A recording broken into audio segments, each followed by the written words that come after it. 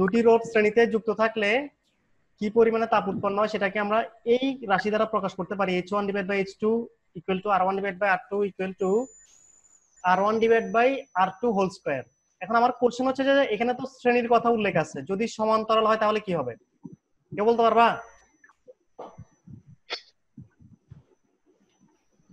সমান্তরালে কি হবে? দুটি রোধ সমান্তরালে যুক্ত থাকলে কি হবে? ভাইয়া উল্টে যাবে আর কেউ কি বলতে পারবা? সমান্তরালে যুক্ত থাকলে কি হবে? ভাইয়া এখন থেকে ইনভার্স ফাং ইনভার্স হয়ে যাবে। এখন যা আছে তার ইনভার্স এখন যা আছে তার ইনভার্স পুরো অংশ ইনভার্স হবে নাকি কোন অংশ ইনভার্স হবে? আমাকে বলো। পুরো অংশ না যেমন আমি আর ওয়ান ডিভাইড বা আর টু রাখলে ওই পাশে স্মল আর টু ডিভাইডেড বা আর ওয়ান হোল স্কয়ার মূল কথা হচ্ছে যে আরগুলো শুধু ইনভার্স হবে, রোধ। রোধগুলো ইনভার্স হবে, যেটা আসলে নিচে লিখে আছে এখানে। ঠিক আছে? তাহলে আমরা দেখতেছি দুটি রোধ সমান্তরালে যুক্ত থাকলে উৎপন্ন তাপ যেটা, সেটা হবে H one divide by H two equal to R two divide by R one equal to R one এই আরগুলো আসলে ব্যাসার্ধ। এই আরগুলো তারের থিকনেস ঠিক আছে? ছোট আরগুলো ওগুলো নিয়ে মাথা ঘামানো তেমনটা দরকার নেই। আর এগুলো থেকে এই এই এই পার্ট থেকে মূলত বেশি প্রশ্ন এসে থাকে, এই পার্ট থেকে। ঠিক আছে? এই অংশটা থেকে। প্রথম অংশটা থেকে বেশি প্রশ্ন এসে থাকে। এখন আমরা যেটা করব, সেটা হচ্ছে আমরা এগুলো রিলেটেড প্রশ্ন দেখব।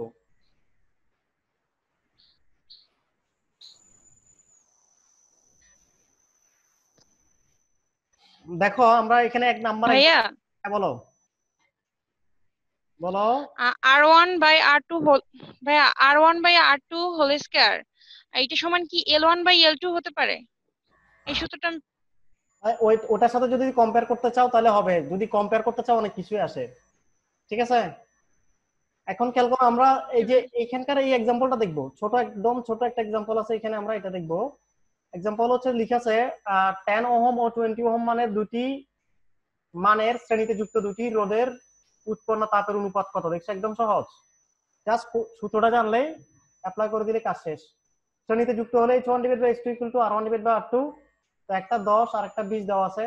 তাহলে আমরা রোদের মান লিখে দিব, এখানে আর আর ওয়ানের জায়গায় দশ আর আর টু এর জায়গায় বিশ। লিখলে আসে ওয়ান বাই টু তাহলে অনুপাত হচ্ছে ওয়ান ইস টু টু পরের প্রশ্ন হচ্ছে যে আমরা যেটা সমান্তরালের ক্ষেত্রে শিখছিলাম সেটা বিশেষ সমান্তরালে যুক্ত একই উপাদানের, একই উপাদানে ও দৈর্ঘ্যের সংযুক্ত দুটি পরিবাহীর ব্যাসার্ধের অনুপাত দেওয়া আছে। এখন এবার ব্যাসার্ধের অনুপাতও দেওয়া আছে। মানে আর ওয়ান অনুপাত আর টু দেওয়া আছে। পরিবাহী দুটিতে উৎপন্ন তাপের অনুপাত কত? তাহলে উৎপন্ন তাপের অনুপাত আমরা একটু আগে শিখছি H one divide by H two equal to R two divide by R one equal to small R one divide by small R two whole square তো আমরা এখানে দেখো, আমাদের এখানে বলছে যে একই উপাদানে তৈরি এবং দৈর্ঘ্য একই রকম। তার মানে তাদের আসলে রোধ একই রকম। এখান থেকে বুঝে নিতে হয় যে তাদের রোধ একই, কারণ তাদের উপাদানও একই দৈর্ঘ্য একই। তাহলে এই ইনফরমেশন থেকে আমাদেরকে বুঝতে হবে যে তাদের রোধ একই রকম। তাহলে রোধ যেহেতু একই রকম, আমাদেরকে আর এই টার্মটা নিয়ে আসার দরকার নেই।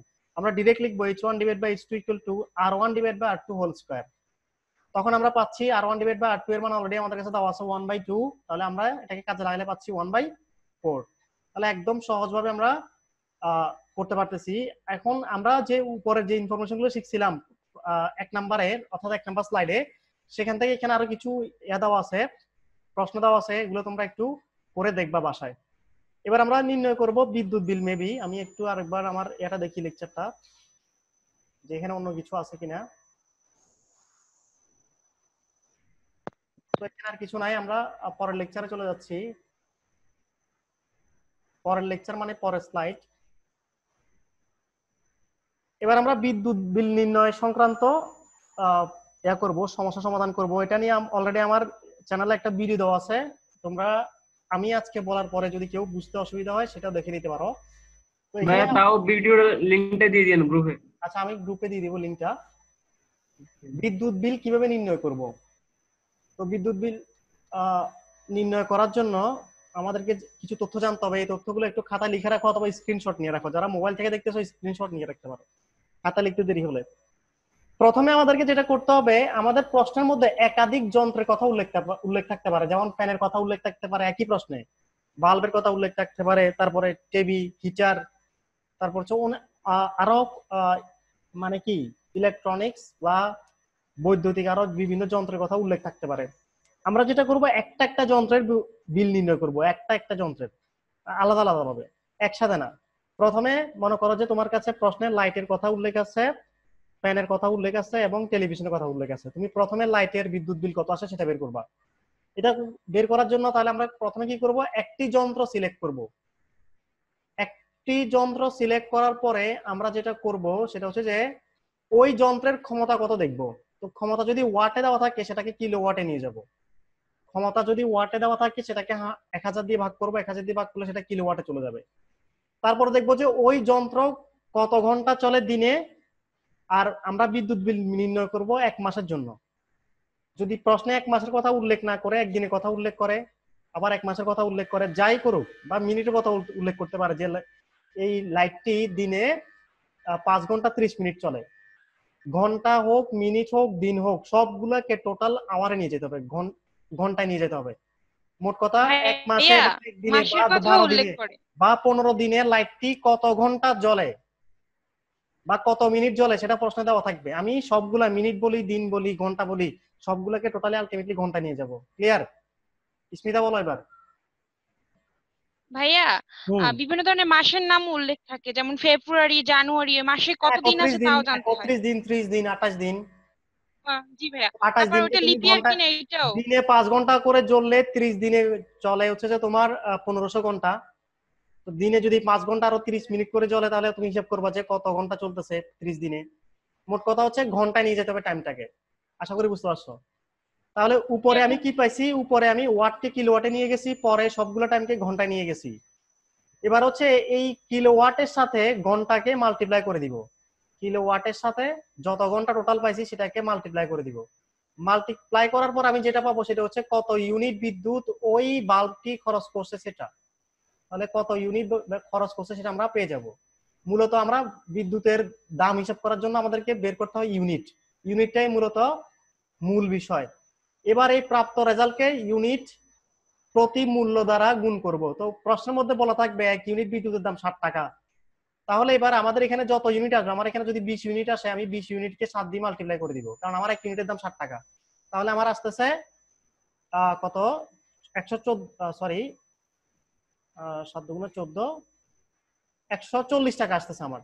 তাহলে ওই লাইটের বিদ্যুৎ বিল আসতেছে একশো চল্লিশ টাকা। এভাবে আমি পরে যেই ফ্যানটা আছে সেটার হিসাব করব বিদ্যুৎ বিল যে টেলিভিশনটা আছে সেটারও বিদ্যুৎ বিল হিসাব করব, একইভাবে, একই ওয়েতে। তারপরে ওই সবগুলো যন্ত্র আলাদা আলাদা ভাবে যখন বিদ্যুৎ বিল হিসাব করব, সবগুলোর এবারে কত টাকা বিল আসছে সেটা যোগ করে দিব লাস্টে তাহলে আমি মনে করি আমার লাইটের বিল আসছে একশো চল্লিশ টাকা, ফ্যানের বিল আসছে একশো পঞ্চাশ টাকা, টেলিভিশনের বিল আসছে একশো টাকা। তাহলে এবার আমি যোগ করে দিলে বিলটা পেয়ে যাচ্ছি। কারও কোনো প্রশ্ন থাকলে এবার বলো। কারও কোনো কিছু জানার থাকলে বলো। কারও কিছু জানার আছে? না ভাইয়া। আচ্ছা আতিক বুঝতে পারছ? আশা করি সবাই ক্লিয়ার হয়ে গেছে। তা আমরা এখন এটা একটু মুছে দিব। এটা মুছতে গিয়ে উপরটা মুছে যাচ্ছে। তোমরা আশা করি তুলে নিছো। এবার আমরা দ্বিতীয় নাম্বার এর মধ্যে চলে যাব টপিকের মধ্যে চলে যাব। দ্বিতীয় নাম্বার টপিক হচ্ছে যে শান্ট জনিত সমস্যা। শান্ট জনিত সমস্যা। তো শান্ট জনিত সমস্যার মধ্যে আমাদের প্রথমে আসলে জানতে হবে যে শান্ট আসলে কি? শান্ট আসলে কি? আমরা শান্ট আসলে কি? পাশে আমি একটা লাইট দেখতে পাচ্ছি পাচ্ছি কিনা এভরিওয়ান লাইট দেখতে পাচ্ছি। মনে করি এই হ্যাঁ লাইটটা এই লাইটটা মনে ভোল্টেজ বিদ্যুতের সাথে যুক্ত আছে। ঠিক আছে? এখন এই লাইটের মধ্য দিয়ে কোনো কারণে মনে করো লাইটটা জ্বলতেছে না। বিদ্যুৎ ব্যাটারির সাথে যুক্ত আছে তারপরে জ্বলতেছে না কোনো কারণে। তুমি চিন্তা করতেছো যে আসলে এটা আসলে লাইটের সমস্যা নাকি ব্যাটারিতে সমস্যা নাকি লাইনের তার মধ্যে কোনো সমস্যা তুমি জানতে চাচ্ছ? তো সেই জন্য তুমি একটা গ্যালভানোমিটার ব্যবহার করলা। গ্যালভানোমিটারের কাজ হলো যে বিক্ষেপ দেওয়া। বিক্ষেপ দিয়ে সে দেখায় দেয় যে আসলে বিদ্যুৎ প্রবাহিত হচ্ছে- কিনা বা বিদ্যুৎ প্রবাহিত বিদ্যুৎ আছে কিনা। ঠিক আছে? বা যন্ত্রটি ঠিক আছে কিনা। যন্ত্র যদি খালি একটা যন্ত্রের মধ্যে তুমি যদি যখন গ্যালভানোমিটার ধরো, ওই গ্যালভানোমিটার তখন একটা বিক্ষেপ দিবে। বিক্ষোভ দিয়ে সে বুঝাবে যে যন্ত্রটি সঠিক। মানে যন্ত্রটি নষ্ট না। মানে গ্যালোনোমিটার অতি সূক্ষ্মভাবে বিদ্যুৎ প্রবাহিত, বিদ্যুৎ প্রবাহের এটা মানে বিদ্যুৎ প্রবাহিত হচ্ছে কিনা সেটা বুঝতে পারে। এটা হচ্ছে গ্যালোনোমিটারের মূল অ্যাপ্লিকেশন আমরা ওই যে যারা বিভিন্ন ইলেকট্রনিক্স সরি ইলেকট্রনিক্স না, যারা বিভিন্ন মেকানিক্স অর্থাৎ বিভিন্ন যন্ত্রপাতি ঠিক করে, আমরা লাইট নষ্ট হয়ে গেলে বা টেলিভিশন নষ্ট হয়ে গেলে অনেক সময় মেকানিক্স এর কাছে নিয়ে যায়। দেখবা তাদের কাছে কিছু মিটার থাকে, এরকম কিছু মিটার থাকে। ওই মিটারে তারা দেখবে যে তোমার মোবাইলটা বা তোমার মোবাইল যদি ঠিক করতে নিয়ে যাব মোবাইলটা ধরে ওখানে। মোবাইলের ব্যাটারিটা ওখানে ধরে। সার্কিটের মধ্যে দিয়ে দেখবে যে একটা মিটারকে সে ধরে। ওই মিটারটাই আসলে মাল্টি সরি গ্যালভানোমিটার ওই গ্যালভানোমিটারের কাজে হচ্ছে বিক্ষেপ দিয়ে বুঝাই দেওয়া যে যন্ত্রটি সঠিক আছে বা যন্ত্রটি এই জায়গায় কোনো একটা সমস্যা আছে এটা বুঝাই দেয়। তো আমি মনে করলাম আমার এই লাইটটা জ্বলতেছে না কোনো এক কারণে। তো আমি জ্বলতেছে না যেহেতু সেই জন্য আমি চাইলাম যে এটা কেন জ্বলতেছে না সেটা আমি জানব। এই জন্য আমি কি করলাম এই লাইটের সাথে হ্যাঁ বলো। বলো। শান্টের রোধ তো গ্যালভানোমিটারের রোধের শান্টের রোধ তো গ্যালভানোমিটারের রোধের চেয়ে কম হয়। কম হোক বেশি হোক সেটা পরে। একটু খেয়াল করো। তাহলে কি গ্যালভানোমিটারের পরিবর্তে আমি একটু আমি কথা বলতেছি পরে তোমার আনসার নিব উত্তর নিব প্রশ্ন নিব। এখন খেয়াল করো এই লাইটটা যেহেতু নষ্ট আমি যেটা করলাম সেটা হচ্ছে যে এই লাইটটার আগে চেক করব আমি। চেক করার জন্য আমি একটা কাজ করতে পারি এই লাইটের সাথে একটা গ্যালভানোমিটার যুক্ত করে দিতে পারি। এখানে একটা গ্যালভানোমিটার যুক্ত করে দিতে পারি। ব্যাটারির সাথে। যুক্ত করে দিলাম আমি। যুক্ত করে দিলে আমি যেটা পাচ্ছি সেটা হচ্ছে এই গ্যালভানোমিটার যখন আমি যুক্ত করে দিলাম, মনে করো গ্যালভানোমিটার বিক্ষেপ দিচ্ছে। এখন সরাসরি যদি ব্যাটারির সাথে তুমি গ্যালভানোমিটার যুক্ত করে দাও গ্যালভানোমিটার পুড়ে যাওয়ার সম্ভাবনা আছে। গ্যালভানোমিটার পুড়ে যাওয়ার সম্ভাবনা আছে। এখানে ব্যাটারির আমি ভোল্টেজ কম দিছি, মনে করো ভোল্টেজ অনেক বেশি। যদি ভোল্টেজ বেশি হয়, মনে করো ভোল্টেজ হচ্ছে যে কত? ভোল্টেজ হচ্ছে যে মনে করো একশো বিশ ভোল্ট তখন যেটা হবে, এই গ্যালভানোমিটার পুড়ে যাওয়ার একটা সম্ভাবনা থাকে। সেই জন্য গ্যালভানোমিটারের প্যারালালে অর্থাৎ সমান্তরালে একটি শান যুক্ত করা হয়। তারপর আমি শানটাকে যুক্ত করে দিলাম।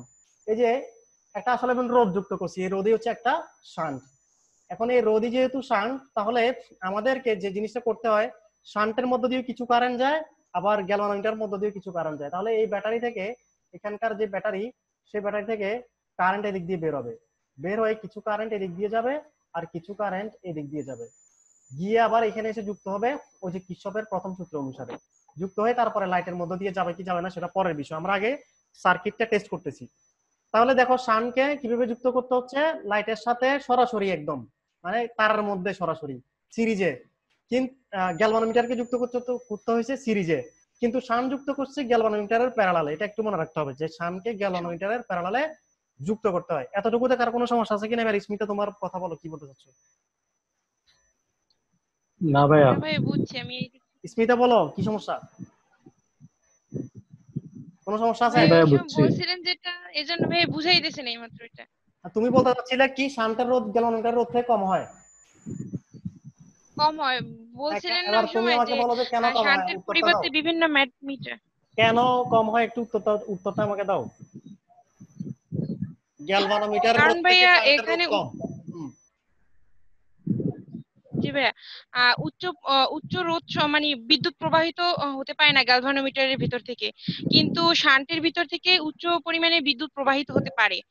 এজন্য শান্ট ব্যবহৃত হয় যেন অতিরিক্ত পরিমাণে বিদ্যুতের মানে ওই যে গ্যালভানোমিটার লোড না হয়ে আহ, শান্টে ওই পথে বিদ্যুৎ প্রবাহিত হতে পারে।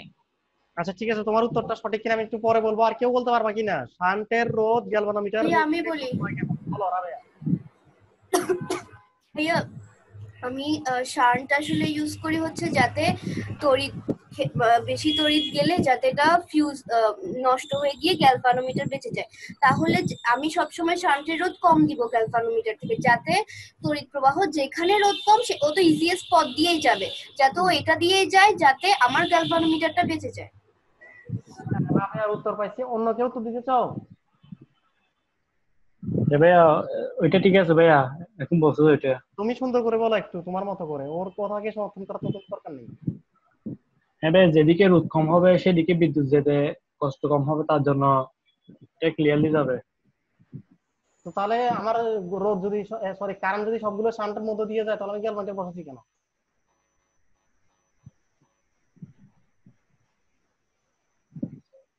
বলো মানে আমার সবগুলো কারণ ভাই অতিরিক্ত যে রুটটা থাকবে ওইটা যাবে ওইদিকে। হুম।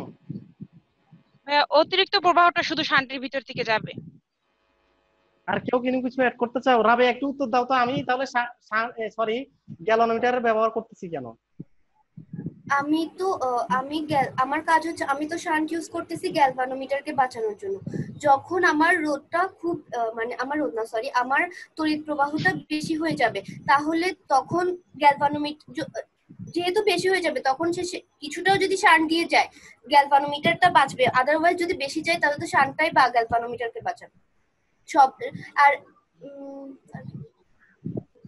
আচ্ছা এবার আমি কিছু উত্তর দেই তোমাদেরকে। রাবেয়ার উত্তর কিছুটা কাছাকাছি আছে। সেটা হচ্ছে যে আসলে মূলত গ্যালভানোমিটার ব্যবহার করা হয়েছে বিদ্যুৎ এর বিক্ষেপ দিচ্ছে কিনা বা বিদ্যুৎ প্রবাহিত হচ্ছে কিনা সেটা জানার জন্য। একদম সামান্য অতি একদম সূক্ষ্ম পরিমাণে বিদ্যুৎ যদি যায়, গ্যালভানোমিটার বিক্ষেপ দিবে। তো তার মানে গ্যালভানোমিটার মধ্য দিয়ে এত বেশি কারেন্ট যাওয়া দরকারই নেই, অল্প পরিমাণে যাইলে হচ্ছে। কিন্তু গ্যালভানোমিটার মধ্য দিয়ে যদি কোনো কারণে বেশি বিদ্যুৎ যায়, গ্যালভানোমিটার পুড়ে যাওয়ার সম্ভাবনা থাকে। কারণ আমাদের বাসাবাড়ির যে বিদ্যুৎ গুলো এগুলোতে অনেক হাই ভোল্টেজ থাকে মাঝে মধ্যে। মাঝে মধ্যে দুইশো বিশ থেকে পার হয়ে দুইশো চল্লিশ ভোল্টে চলে যায়। তো ওই অবস্থায় মিটারটা পুড়ে যেতে পারে গ্যালনোমিটারটা তো যেহেতু তুমি গ্যালনোমিটারটা কিনে আনছো ব্যবহার করার জন্য, এখন যদি তুমি কোনো কিছু চেক করতে গিয়ে ওটা পুড়ে যায় তাহলে লাভ নাই। এই জন্য গ্যালনোমিটারের ভেতর দিয়ে একটা শান্ট আসলে যুক্ত থাকে, এটা আমরা জানি না। আমরা নর্মালি ব্যবহার করে ফেলি ডাইরেক্ট একদম লাইনের মধ্যে দিয়ে দেই। আসলে ওই গ্যালনোমিটারের মধ্যে দিয়ে অনেক সময় ভেতরে মানে ডিজিটাল যে গ্যালনোমিটারগুলো বর্তমানে, সেগুলোতে ভেতরে শান্ট যুক্ত হয়ে থাকে। তো শান্ট কেন যুক্ত থাকে? যাতে গ্যালনোমিটার মধ্যে দিয়ে অতিরিক্ত কারেন্ট না যায়, কম কারেন্ট যায়। এই জন্য এই শান্টের প্যারালালে একটা যখন হালকা একটা রোদ দিয়ে দেওয়া হয়, তখন যেটা হয়, ওই কারেন্টগুলো ওই রোদের মধ্য দিয়ে এই এখান দিয়ে এদিক দিয়ে পাস হয়ে এদিক দিয়ে চলে আসে। অর্থাৎ এই যে ব্যাটারি থেকে কারেন্টগুলো এদিক দিয়ে পাস হয়ে এদিক দিয়ে চলে আসে। আর এখান দিয়ে গ্যালনোমিটার মধ্য দিয়ে খুব কম কারেন্ট যায়। এখন কারও কারও মনের মধ্যে প্রশ্ন আসতে পারে যে ভাইয়া তাহলে আপনি এখানে রোদ দেওয়ার কি দরকার? কিন্তু এখানে একটা তাপ দিয়ে দিলেই তো হয়। এটা কি কারও মনে কোনো প্রশ্ন আসছে? যে রোদ না দিয়ে যদি একটা তাপ দিয়ে দিই পাশ দিয়ে একটা তাপ দিয়ে দিই তাহলে হয় না? রাবে এবার উত্তর দাও এখানে তাপ দিয়ে না দিয়ে রোদ কেন দেওয়া হচ্ছে? রোদ না দিলে তখন তো সব কারেন্ট এটা দিয়ে চলে যাবে সব চিজের প্রশ্ন আর তাছাড়া রোদ না দিয়ে আমি কেমনে করব? আমার তারের ভিতরে তো রোদ থাকবেই। আচ্ছা অন্য কেউ উত্তর দিতে পারবা এটার? জি ভাইয়া। ভাইয়া যদি আপনি অন্য কোনো তার যুক্ত করেন তাহলে ভাই সম্পূর্ণ বিদ্যুৎ ওই তারেই চলে যাবে। যেহেতু গ্যালভানোমিটারের সামান্য পরিমাণে রোদ আছে। হ্যাঁ সেই কারণে। উত্তরটা সঠিক রাবের উত্তরটা সঠিক। মূলত হচ্ছে যে যদি আমি এই গ্যালভানোমিটার প্যারালালে একটা তার যুক্ত করে দিই ভাবে একটা তার যুক্ত করে দেই তখন কারেন্টের সবচেয়ে বড় ধর্ম হচ্ছে যে যেখান দিয়ে রোদ আছে সেখান দিয়ে যায় না সে। সে যেখান দিয়ে কোনো রোদ নাই ডিরেক্ট তার যুক্ত সেখান দিয়ে যায়। তখন ওই কারেন্ট কি করবে? এই তার হয়ে এই তার হয়ে এদিক দিয়ে সবগুলো যাবে। এদিক গ্যালভানোমিটার মধ্যে দিয়ে একটু কারেন্ট সামান্য পরিমাণ কারেন্টও ঢুকবে না। কারণ কারেন্টের ধর্ম এটা যেদিক দিয়ে রোদ নেই ওদিক দিয়ে পাস হয়। তুমি যদি তোমার বাসা বাড়িতে যে লাইটটা জ্বলতেছে ওই লাইটের প্যারালালে একটা তার দিয়ে দাও দেখবা লাইটটা জীবনও জ্বলবে না। একটু কারেন্টটা জানা লাইটের মধ্যে দিয়ে। সবগুলো কারেন্ট ওই তারের মধ্যে দিয়ে পাস হয়ে যাবে। তার মানে এখানে তার যুক্ত না করে রোদ যুক্ত করতে হয়। সামান্য পরিমাণে রোদ এখানে দিয়ে দেওয়া হয়। এবং তাকেই বলা হচ্ছে শান্ট। হ্যাঁ বলো। বলো। ভাইয়া বলো। ব্যাখ্যাটা আর একবার একটু বলেন তো কিছুই বোঝা যায়নি বে। কোনটা? ওই রোদের পরিবর্তে যে গেল যে তার ব্যবহার করা হয়েছিল সমান্তরালে ওই ব্যাখ্যাটা ধর্ম হচ্ছে যে খালি তার পাইলে ওখান দিয়ে যায়। রোদ থাকলে একটু সামান্য পরিমাণ রোদ থাকলে সেখান দিয়েও যায় না। তো তুমি যদি এখান দিয়ে তার দিয়ে দিতা এখান থেকে যদি একটা তার দিয়ে দিতা তখন পুরো কারেন্ট এই তারের মধ্যে দিয়ে যাবে। গ্যালভানোমিটার মধ্যে দিয়ে একটু ঢুকবে না। যদি একটু না ঢুকে তুমি গ্যালভানোমিটারের বিক্ষেপটা পাবা না। অর্থাৎ পুরো কারেন্ট তখন এদিক দিয়ে পাস হয়ে যাবে। এবার করে এদিক দিয়ে লাইটের মধ্যে চলে আসবে। বুঝতে পারছ এবার মানে জি ভাইয়া। হ্যাঁ তখন গ্যালভানোমিটার মধ্যে দিয়ে একটু কারেন্টও যাবে না সামান্য পরিমাণ কারেন্টও যাবে না এটাই বুঝতে চাচ্ছিলাম। তাহলে আমরা আশা করি বুঝতে পারছি এতটুকু। এখন আমরা পরের ইয়াতে চলে যাব ব্যাখ্যাতে চলে যাচ্ছি। এখন দেখো এই গ্যালভানোমিটারের মধ্য দিয়ে কতটুকু কারেন্ট যায় সেটা বের করার জন্য এই সূত্র যে আইজি ইকুয়াল টু এই গ্যালনের মধ্যে এখন এই অবস্থা শানযুক্ত করার কারণে গ্যালভানোমিটার মধ্যে দিয়ে কিছু কারেন্ট যাবে শান্টের মধ্যে দিয়ে কিছু কারেন্ট যাবে। তো দুইটা কারেন্টে আমরা বের করতে পারব। গ্যালভানোমিটার মধ্যে দিয়ে যে কারেন্ট যায় সেটা হচ্ছে I G equal to S divide by G plus S যেখানে এস হচ্ছে যে কার রোধ এস হচ্ছে যে শান্টের রোধ। আর জি হচ্ছে কার রোধ জি হচ্ছে গ্যালভানোমিটারের রোধ। বুঝা গেছে? এতটুকু বুঝা হ্যাঁ গেছে। হ্যাঁ তাহলে শান্টের রোধকে হ্যাঁ। আমরা লিখব যে এস আর গ্যালোমিটার রোধকে আমরা জি দ্বারা রিপ্রেজেন্ট করব। ইনটু আই আই মানে টোটাল আই টোটাল মানে এখান থেকে কতটুকু আয় বের হচ্ছে? ব্যাটারি থেকে কত আয় বের হচ্ছে? ব্যাটারি থেকে কত আয় বের হচ্ছে? এটা আমরা গতকাল ক্লাসে দেখেছিলাম। গতকাল কালকে ক্লাসটা আমি আজকে আবার আপলোড করে দিব। যারা বুঝো না তারা বুঝতে পারবা। তাহলে এখান দিয়ে কি পরিমাণে কারেন্ট বের হচ্ছে সেটা হচ্ছে যে আই ব্যাটারি থেকে যেটা বের হচ্ছে পাস হওয়ার আগে গ্যালোমিটার ঢুকার আগে এবং রোদে ঢুকার আগে শান্টে ঢুকার আগে গ্যালোমিটারে ঢুকার আগে ব্যাটারি থেকে যে কারেন্টটা বের হচ্ছে সেটা হচ্ছে এখানকার আইটা তাহলে আমরা বুঝতে পারছি যে গ্যালোমিটারের মধ্য দিয়ে কীভাবে কারেন্ট প্রবাহিত হচ্ছে সেটা। তো আমরা শান্টের রোদের মানকে প্রকাশ করব। আবার এভাবে যে R equal sorry S equal to R divide by N minus one এই জিনিসটা আমরা একটু পরে জানব। তার আগে আমরা একটা অঙ্ক করে দেখতে পারি কিনা দেখি, যেটাতে আমরা এই, এখানকার ভালো করে বুঝতে পারি। আমরা এখানকার তথ্যটা ভালো করে বুঝার জন্য একটা অঙ্ক করি আগে। ছিলাম কোথায়? বিদ্যুৎ বিল নির্ণয় করে ফেলছি। বিদ্যুৎ বিল নির্ণয়ের অঙ্ক আমরা একটু পরে দেখব। তার আগে আমরা সামজনিত সমস্যাটা দেখে নিই। খেয়াল করো, আমরা এখানকার এই এক্সাম্পলটা দেখব। লিখছে যে, বিশ ওহম রোধের একটি গ্যালভানোমিটারের সাথে কত রোধের একটি সান জুড়ে দিলে মোট তড়িৎ প্রবাহের টেন পার্সেন্ট গ্যালভানোমিটারের মধ্য দিয়ে প্রবাহিত হবে? মানে গ্যালভানোমিটারের সাথে একটি শান যুক্ত করতে হবে। আর গ্যালভানোমিটারের রোধ দেওয়া আছে, বিশ ওহম। আর আমি যে শানটা যুক্ত করব সেটার রোধ কত আমাদের কাছে জানতে চাইছে। তো ওই শানটা যুক্ত করলে আমার দশ পার্সেন্ট কারেন্ট গ্যালভানোমিটারের মধ্য দিয়ে যাবে। তাহলে আমি মোট কারেন্ট কত? সেটার টেন পার্সেন্ট হচ্ছে যে আইজি তাহলে একটু খেয়াল করো, আমার আইজি হবে কত? আইজি হবে, বলছে গ্যালভানোমিটারের মধ্য দিয়ে টেন পার্সেন্ট কারেন্ট যাবে, মোট কারেন্টের টেন পার্সেন্ট। তাহলে একটু খেয়াল করো I G equal to I G equal to I এর টেন পার্সেন্ট এটা আশা করি সবাই বুঝতে পারছ। আই এর টেন পার্সেন্ট তো আই এর টেন পার্সেন্ট মানে কত? পয়েন্ট আই এটা কাজ করে তোমরা দেখতে পারো। পয়েন্ট আই হবে তখন। পয়েন্ট ওয়ান আই আর কি। তো আমি শুধু পয়েন্ট আই লিখতে চাচ্ছি। Point I I G equal to point I এখানে অ্যাপ্লাই করব আমরা এই সূত্রের মধ্যে। তাহলে কীভাবে অ্যাপ্লাই করব? তাহলে এইখানকার এই আইজি এর জায়গায় পয়েন্ট আই লিখব আমি। তাহলে পয়েন্ট আই সরি ভাইয়া মনিটর দেখা যায় না? মনিটর দেখা যাচ্ছে না? হ্যাঁ। দেখা যাচ্ছে তো ভাইয়া। আমি যে দেখতেছি দেখা যাচ্ছে। যাচ্ছে দেখাবে তাহলে পয়েন্ট আই ইকুয়াল টু আমরা লিখব পয়েন্ট আই ইকুয়াল টু কত? S divide by G plus S into আবার আই টোটাল আই এখন খেয়াল করো, এখানেও কিন্তু আই এখানেও কি? আই দুই পাশে আই আই আসলে চলে যাবে। একটু পরে একটু পরে আমি সেটাকে তারা দিব। এটা একটু মুছে দেই। এখন খেয়াল করো, আমি যেটা করব, এখন আমরা এই দুই পাশ থেকে আই আই কেটে দিচ্ছি এখনই। সূত্র অ্যাপ্লাই করার আগেই। তাহলে এখানে হয় পয়েন্ট ওয়ান শুধু। Point one equal to G এর মান হচ্ছে গ্যালভানোমিটারের রোধ। আর এস হচ্ছে যে শান্টের রোধ। আমাদের প্রশ্নের মধ্যে গ্যালভানোমিটারের রোধ দেওয়া আছে বিশ ওহম। আর শান্টের রোধ আমরা বের করব। তাহলে আমরা এখানে বিশ লিখে দিব। প্লাস এস এবার তোমরা নিজের নিজের করে ফেলো খাতায়। কিন্তু আই এখন চলে ওয়ান হয়ে গেছে আর কি আই নেই এখন আর। তাহলে এবার তোমরা এখান থেকে এস বের করে দেখো তো কত আসে। দ্রুত এস বের করে ফেলো। আমাদের আহ, সময় বেশি নাই আর তাড়াতাড়ি করতে হবে। এস বের করে বলো টু পয়েন্ট টু এস বের করে বলো কত হয়।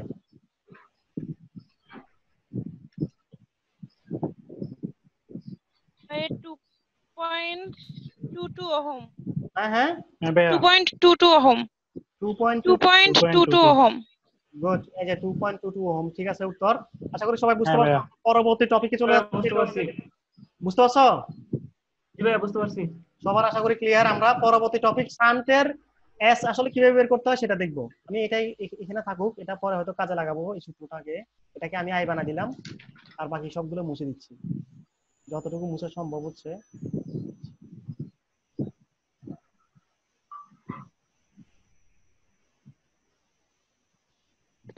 তাহলে খেয়াল করো, এখন এখানে যে সূত্রটা লেখা আছে যে S equal to R divide by N minus এটা তো তোমরা দেখতে পাচ্ছ। এটা আসলে কি? এটা হচ্ছে যে এখানে যে এন যেটা দেখতে পাচ্ছ এটা আসলে হচ্ছে যে I two divide by I one প্রশ্ন হচ্ছে আই টু কি? আই টু হচ্ছে যে দেখবা যে প্রশ্নের মধ্যে একটা বড় কারেন্ট থাকবে। ওইটাকে তুমি আই টু ধরবা। আমাদের প্রশ্নের যে যে প্রশ্নগুলো আমরা সমাধান করব সেগুলো দেখবা যে একটা বড় কারেন্ট মনে করো পঞ্চাশ পঞ্চাশ এম্পিয়ার লেখা আছে। আর একটা দেখবা ছোট কারেন্ট ওটাকে তোমরা ধরবা যে আই ওয়ান মনে করো লেখা আছে দুই I1 এম্পিয়ার তাহলে আশা করি বুঝতে পারছ এটা একটা ট্রিক্স এটা একটু মনে রাখতে হবে। এবার আমরা শান্তের রোধের মান এভাবেও বের করতে পারি সেটা আবার আমরা এটার সাথে এটাকে কম্বাইন করার প্রয়োজন হতে পারে মাঝে মধ্যে দুইটাকে একসাথে। এটার জন্য আমরা একটা প্রশ্ন দেখব। উপরের প্রশ্নটা। ভাইয়া হ্যাঁ বলো। আরটা বুঝিনি ভাইয়া? আর আর। হ্যাঁ? স্মলারটা হ্যাঁ বলো। স্মলার স্মলার হচ্ছে যে স্মলার এটা কি?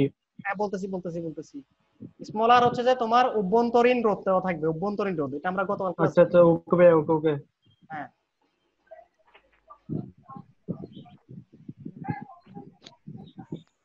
আমি দুইটাকে একসাথে অ্যাপ্লাই করতে পারি, এরকম একটা প্রশ্ন ছিল। আমার এটা ঢাকা বিশ্ববিদ্যালয়ের প্রশ্নের মধ্যে আচ্ছা থাকে, এখানে আমরা এখান থেকে একটা করে নেই, এক নাম্বারটা।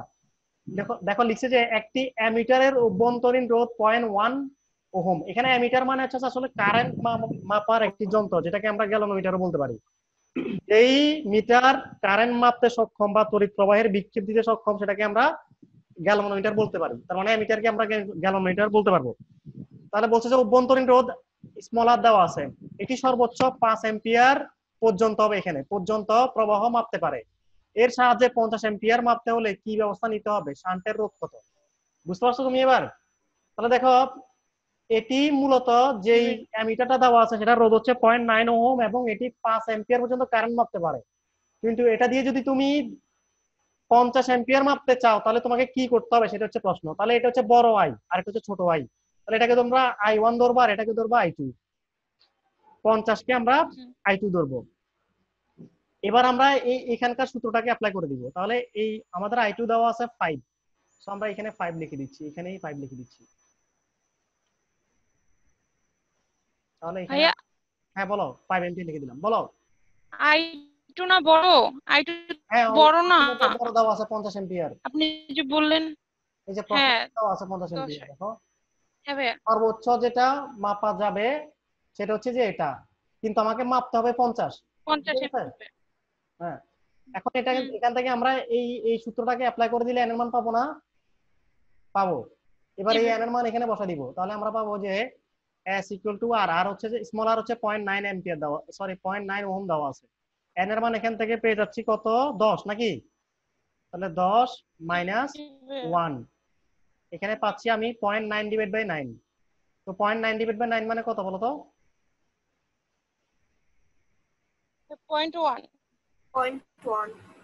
তাহলে আমাদের এস এর মান হচ্ছে কত? পয়েন্ট ওয়ান ওয়ান এবার খেয়াল করো। এই যে শান্টের রোধ আমরা পেয়ে গেছি।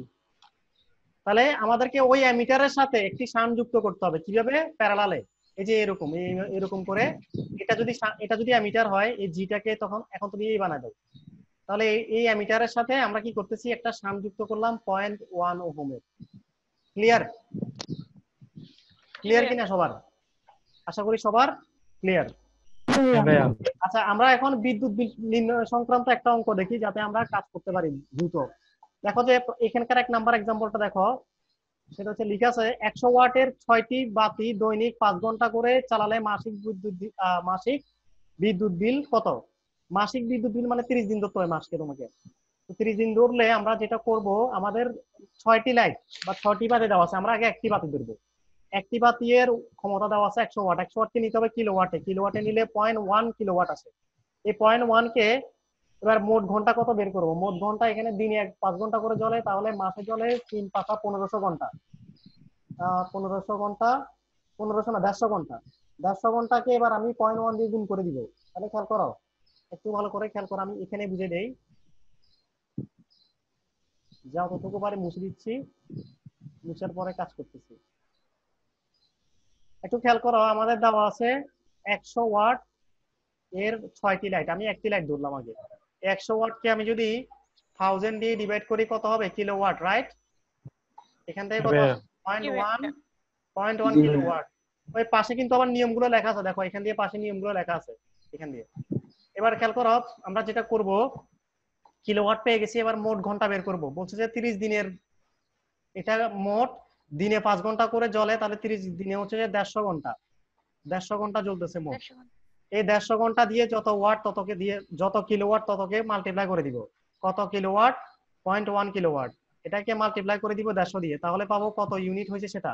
তাহলে কত ইউনিট হলো? পনেরো ইউনিট তাহলে পনেরো ইউনিট বিদ্যুৎ খরচ হয়েছে ওই লাইট দ্বারা, একটা লাইট দ্বারা। এবং বলছে যে এক ইউনিট বিদ্যুতের দাম তিন টাকা। পাশে লেখা আছে বি তিন টাকা। বি মানে আসলে এক ইউনিট বিদ্যুতের দাম। তাহলে এক ইউনিট বিদ্যুতের দাম যদি তিন টাকা হয়, পনেরো ইউনিটের দাম হচ্ছে কত? এক তিন দিয়ে গুণ করে দিলাম, পঁয়তাল্লিশ টাকা। পঁয়তাল্লিশ টাকায় একটা লাইটে আসে। তাহলে ছয়টা লাইটে কত আসবে? পঁয়তাল্লিশ ইন্টু ছয় যা আসে তা। ক্লিয়ার এতটুকু? দুশো সত্তর। ভাই দুশো সত্তর। কেউ একজন আমাদের এই এটাতে আঁকতেছো কেন?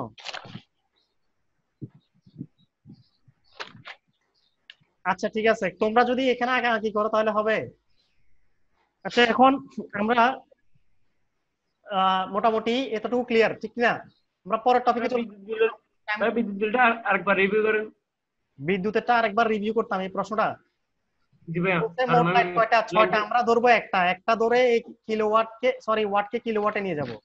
তো একশো ওয়াট কে তুমি কিলোওয়াটে নিলে এক হাজার দিয়ে ভাগ করতে হবে। ভাগ করলে পাই ওয়ান পয়েন্ট ওয়ান কিলোওয়াট এটা কে? কিলোওয়াট পয়েন্ট ওয়ান কিলোওয়াট পাইছি। এবার বের করব যে একটা লাইট মোট কত ঘণ্টা জ্বলতেছে এক মাসে?